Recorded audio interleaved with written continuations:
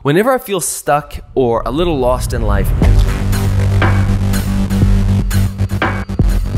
there are a couple tools and strategies that I use to help me get back on track, and that's what I want to share with you in today's video.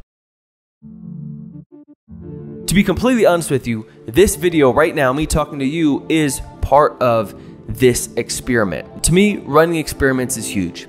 This is a way that you can dip in, dabble in something without having to commit to it fully. I've also learned this from Tim Ferriss. To run an experiment that you're gonna learn something from just by doing. Just from running the experiment, whether that it's successful or not, you're going to come out with a new set of skills, more knowledge, etc. I'm gonna come out knowing how to edit videos better. I'm gonna come out knowing how to shoot videos, lighting. There's this entire piece around shooting video that I'm learning in this process of creating this channel and trying these videos. So yes, let me try this for a couple months, see how it goes, and learn a bunch along the way.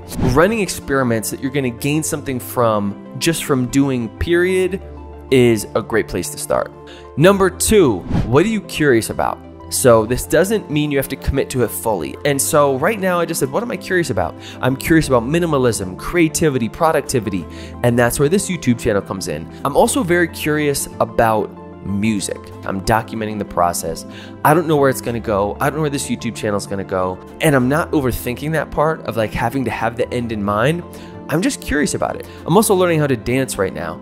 Not saying I'm going to be a professional dancer, but there's enough of an idea that I'm curious about it to say, let me at least try it out. When I have conversations with friends or other people about this idea, some people say, yeah, I don't even know what I'm curious about right now. I've only, I've been working for 10, 15, 20 years. I forget what my, my interests outside of work are. So then I say, what interested you as a kid? My mom right now is about to retire. She was like, Kia, I don't know what I'm gonna do next. And I said, Mom, you've told me before you liked horses growing up, you love animals, you like gardening. So one of my things would be if you don't know what your interests, your passions are, whatever right now, What'd you do as a kid? And maybe start there and try that again. Another tool and strategy that I often use for this is to ask people what they're doing and if they like it. And recently I've started to toy with the idea of maybe trying something else. And so I was thinking about being a professor. But before going, just jumping into a school, PhD program, starting to research, I said, let me talk to some professors first. After having conversations with a few professors, just Googling, watching some YouTube videos, I realized that wasn't the path for me.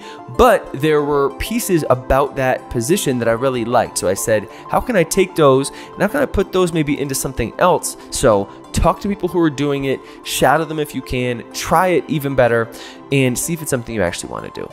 This last point is one of the most important. Rather than trying to follow your passion, think about what does your ideal lifestyle look like? What does that entail? I know I like to travel, so I need something that is remote and flexible. I know I want something that involves learning and teaching. I also realized I wanted something that is I'm passionate about and is intense, but doesn't take up all my time. So for me, thinking about what does that lifestyle look like and then what type of work can I fit into that picture has been a tool that I come back to time and time again. Incredibly useful for me to figure out less what do I want to do and more what type of a life do I want to live and then how can I figure out my work around that. Thank you so much for tuning in. If you made it this far, I appreciate you. If there's something you want me to talk about, if you something you want to learn about, drop it in the comments below. Again, this is my experiment. I'm seeing where this goes and we'll see. We'll see how many episodes I make it in and if it's something that I like and we'll see what happens. Thank you. I appreciate y'all and I'll check you on the next one. Peace.